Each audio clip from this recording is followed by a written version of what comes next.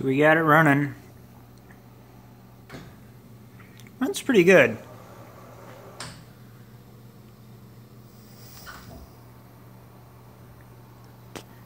I got this little guy for the A axis. Except it comes with this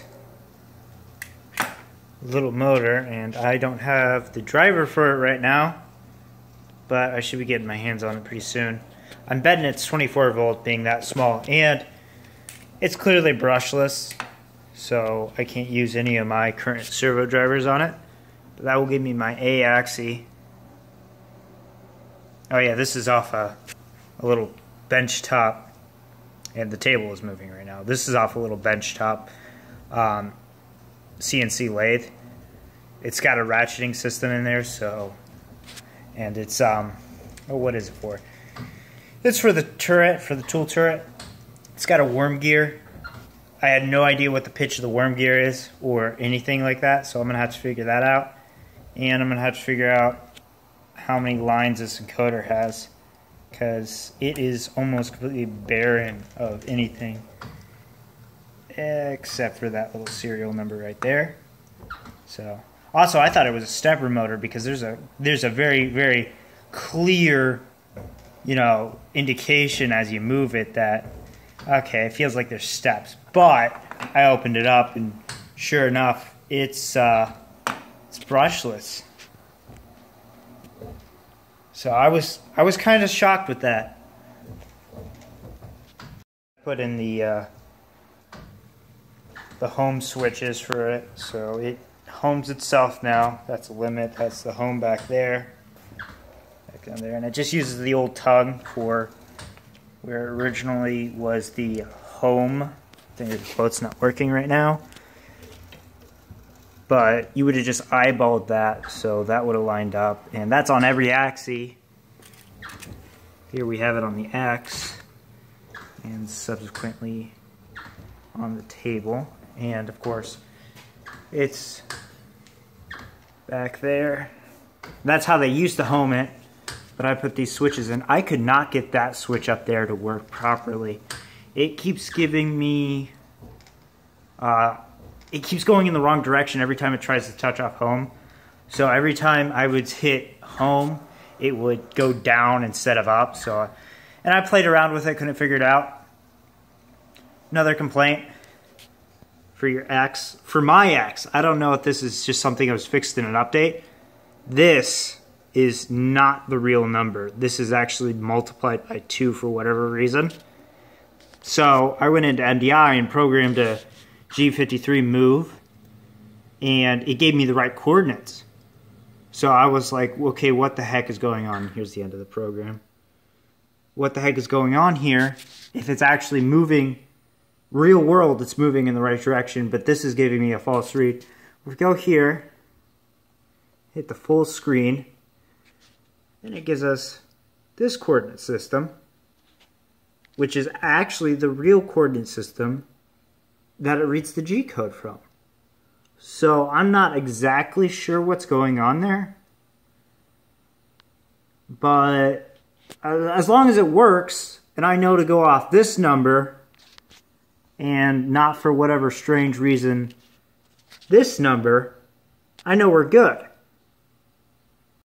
Alright, so besides that weirdness, I haven't had anything else go on. Like, positionally weird.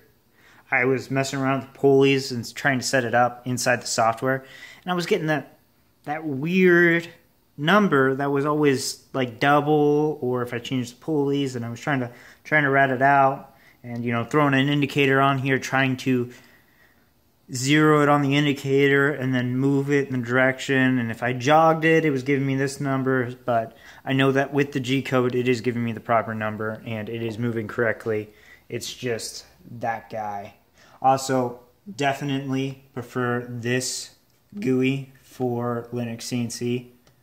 Uh, G-Screen is the best, and I've had people ask me over Instagram, what is this theme? Or what GUI is this?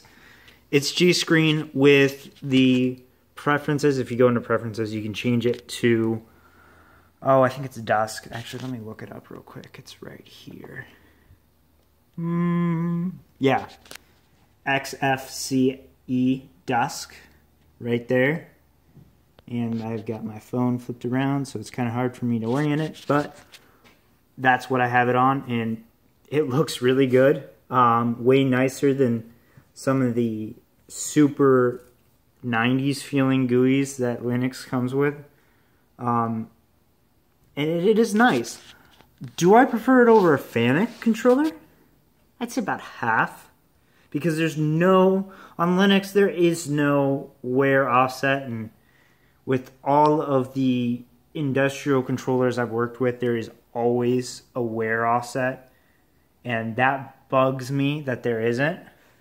So it's unfortunate, but you have all your other tool offsets.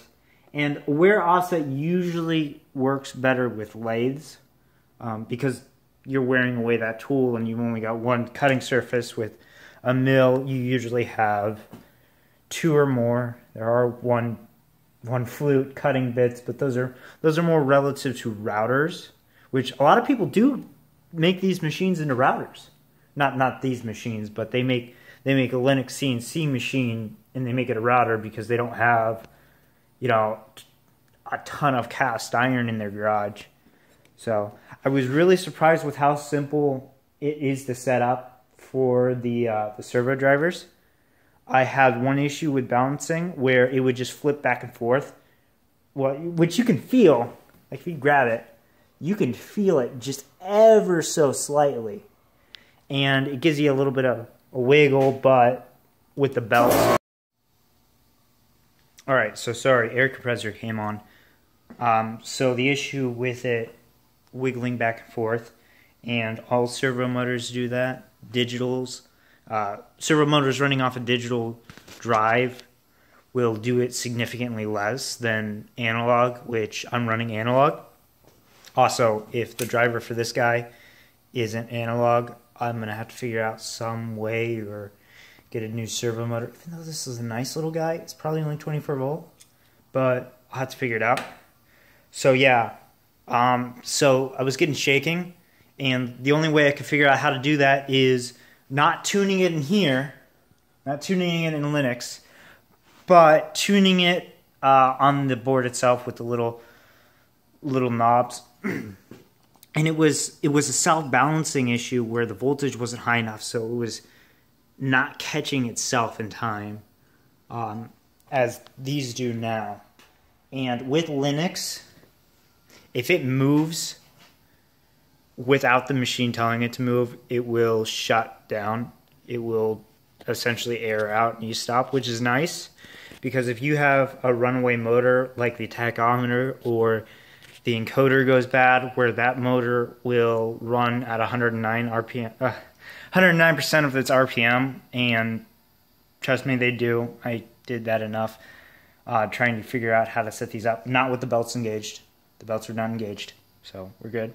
Um, and it's it's scary because you know if if wire comes loose, your tachometer is no longer reading, or your encoder is no longer reading. It's gonna want to spin, and it will spin uncontrollably at whatever it's got, and it will give it all it's got and break the castings on your machine. So that's kind of a thing you need to watch out for. Um, it's one of the things that I would suggest uh, a closed loop, a closed loop or a stepper motor with an encoder attached to the back. Uh, there are plenty of, of videos showing just how to do that on YouTube. That's not really a hard thing to do. You just add an encoder on the back and figure out either have a closed loop driver with it or use a board for Linux that runs uh, encoder and can take the I/O from the encoder and translate it to the program. So yeah, jitter was another reason why um, stepper motors would have been better for this uh, because that, that jitter, if it's excessive, it can show up on your parts. So that's fun. Um, downside to how this machine's constructed, though, which is a bit of a tangent from the CNC part of things. Air compressor always has to run with this machine because it's not a counterweighted system, which really sucks. So we've got this big cylinder back there, and that gives us the pressure and offsets the uh, the head so that the uh, the ball screws don't eat themselves up over time. Because it's not an Acme thread, it is a ball screw on the Z. Actually, everything's ball screw, but that's standard. So yeah, I had no issues with this. It's pretty solid. I'm I'm surprised because I figured I figured I'd have to figure something else out or the drivers were unknown to me and I have drivers or uh, a PDF of the drivers, but they're not in this. Well, they're in the same series, but they're like a few generations older. So, and I couldn't find anything online. Like, there's some eBay stuff about those drivers, but nothing solid. So, trying to find it, it's kind of a trial and error thing where I hope this won't blow up. I hope this, you know, passes the smoke test as I plug it in. And it worked out. So, I still have that extra fourth axis. Yeah, and I can't use it for this guy. So, I could legitimately take this and after a while, if I really, really wanted to, and this probably can't take much torque. If I really, really wanted to, I could probably do a fourth or a fifth axis on this. I don't think I would ever need that. It'd be cool. Um, Fusion isn't the best software to be programming four axis work or five axis work in, four or five for that matter. It's it's kind of weird. There is some workarounds. You do have to do some extra work. It is doable. It's actually pretty nice once once you work it out, but it's complicated, unfortunately, and more work. So, but what are you going to do? But anyways, one of the first projects, once I get a vise in here instead of this old four jaw, which I guess it will work. It, it will work, but it's not the best solution. First project, get that off there. Get this, deck the top off, give it like an L shape. That way there's a good register on the back for that. Deck both, well, it's sheet metal, we can't do that, never mind. But anyways then, machine keyway, bottom of this guy. That way I got a good register and do a hole and everything for a nut, a T-slot nut, and probably countersink it because it's, you know, yeah, I probably have to countersink or counterbore just so the fastener sits down flush. That way it's not going to give me any issues, but it will be a nice little four-axis machine. Uh, no provisions for the automatic tool changer because this is, there's no way you could no way I could legitimately do a tool changer on this particular setup. Not because it would be too hard to do, say, a carousel or umbrella. I've got a PLC, and with the classic ladder, ladder logic, you can do uh, digital outputs for that, and you can do a G code that puts out a digital out to a particular I/O port, and then communicate with the PLC that way, which I would suggest, I don't know if I do Arduino just because I don't know how stable Arduino is for a long period of time. Um, so if you can get your feet wet and do PLC work, I would do that. But a lot of people can't, and that's understandable because PLCs are inflated and expensive. Uh, at least the Allen Bradley type. Allen Bradley or Siemens are both uh, quite an expense, and for obvious, it's not going to happen. So I'd go with uh, Automation Direct. They've got some that are cheap, like sixty dollar range for the processor itself, which is not bad, and you don't need much I/O. Anyways, getting back into this, yeah, fourth axis, fifth capable. The reason the spindle currently is not capable of having a tool changer is because there's no way to orient the spindle. It is a, I think it's a J2 clone off of Bridgeport. And there's no way you can orient it because if you would change this, you'd crank this over and change it, which you're not supposed to do while the spindle's not moving. If you were to change it while it's oriented and you have a servo driver up top or servo motor up top for the spindle, you have an issue because the second you change this, your orientation's off. So there's no real way to do it with a J2.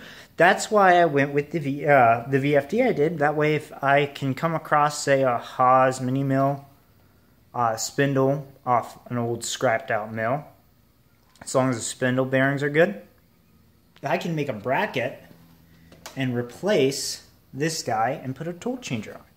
Maybe. Assuming, because most of the scrapped out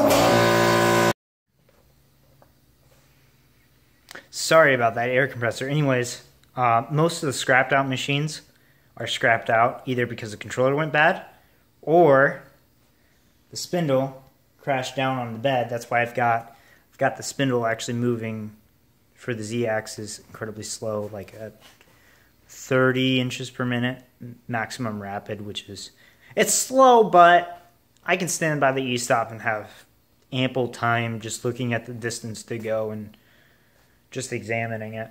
So, yeah, it, it's going to be Russian roulette trying to find a, a different spindle eventually for this guy. But, anyways, I think that's all I got for this one. So, if you made it this far in the video, I commend you. And as always, thanks for watching.